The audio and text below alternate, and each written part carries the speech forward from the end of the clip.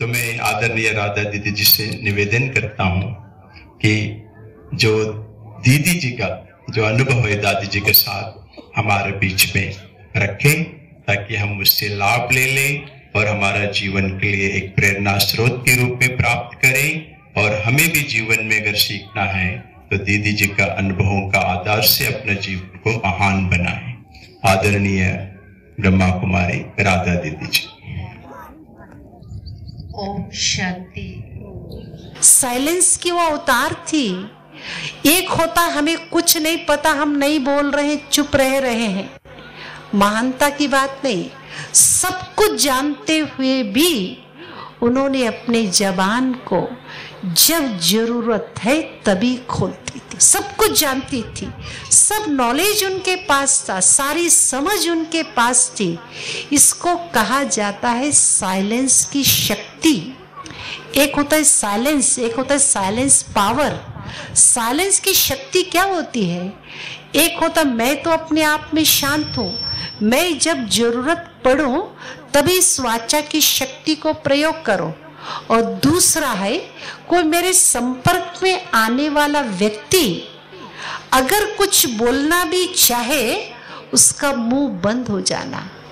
ऐसा उनका ओरा था, वो बोलने के बजाय साइलेंस की शक्ति का अनुभव करके जाता था। उनके पास वो साइलेंस पावर, वो सत्यता की शक्ति थी। अगर उनके सामने कोई झूठ बोलने के लिए पहुँच भी जाता, रट करके जाता, मन बना करके जाता, ये वाली बात झूठ में दादी को सुनाओ, उनके आगे आते मुँह बंद हो जाता था। वो सत्यता की शक्ति थी, सत्यता का अवतार, शांति की शक्ति, शांति की दूत, दूसरों के मन के संकल्पों को भी शांत करने की ताकत वो वरदान उनके पास था। एक ऐसी महान विभूति जो कि हम बात इन आँखों से देखने का हमें मौका मिलेगा। तो मुझे कई बार दादी जी को, एंजल हाउस में दादी जी को रुकने का मौका मिलता था, क्योंकि अभी हॉल नहीं बना था। दादियों के रहने के बहुत सारे प्रबंध नहीं थे। 85 86 की बात है। मेरे ख्याल से 85 या 90s के आसपास की नीचे शांतिवन के कार्यक्रम शुरुआत ही हुए थे। तो शुरुआत में एंजिल हाउस बना हुआ था, दादियाँ वहाँ रुकती थी। तो दादियाँ वहाँ रुकने के कारण बाबा से मिलने जाने के पहले से भी हम लोग दादा दादी से मुलाकात करते। जैसे बाबा के प्रस्थान होने के बाद भी हम दादी जी से मुलाकात करते।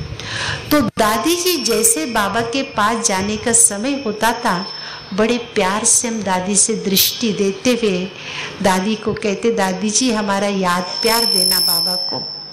और बाबा की पदरामणि के पश्चात दादी जी जब वापिस लौटती, थी, सेवा करने का भी मौका हमें कई बार मिला और दादी ने प्यार थे और हमें वरदानों से भरपूर।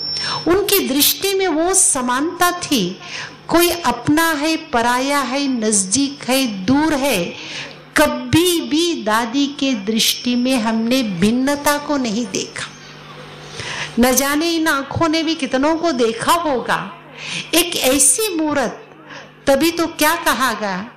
जिसकी रचना इतनी सुंदर वो कितना सुंदर है। शक्ल के सुंदर न जाने कितने लोग होंगे इस संसार में। वो इतनी मन से सुंदर थी। हर कोई उनके पास जाकर अपनेपन की अनुभूति कर लेता था। और दादी जी को मैंने कहा, दादी जी, हम लखनऊ में गुलजार उपवन बना रहे हैं। क्योंकि आपने आ करके लखनऊ में सेवाओं की शुरुआत की है तो इसीलिए आपके द्वारा लखनऊ में इस ईश्वरीय विश्वविद्यालय की स्थापना हुई। नाम का गुलजार उपवन बना रहे। वो दादी जी का आशीर्वाद था दादी जी का प्यार था दादी जी का स्नेह था। ऐसा वरदान मिला, ऐसे लगा जैसे कि हर कार्य बिल्कुल जैसे कि मक्खन से बाल की तरह निकलता चला जा रहा। ऐसा उनका वरदानी हाथ रहा, जो संकल्प करे जैसे लगता है कि सफलता उस सिद्धि स्वरूपा थी। जो आप संकल्प करते थे उनके सामने जा करके वो सिद्ध हो जाता था। ऐसे सिद्धि स्वरूपा हमारी आदरणीय श्रद्धेय दादी जी।